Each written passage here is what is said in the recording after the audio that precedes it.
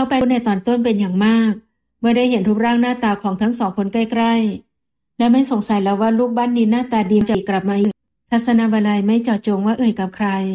ก่อนจะหันไปหาสามีวันงานมีอะไรต้องทำกันอีกเยอะทีเดียว หนูเอ่ยอาจจะเหนื่อยหน่อยนะจ๊ะ ไม่เป็นไรค่ะ แต่เอาคำจัก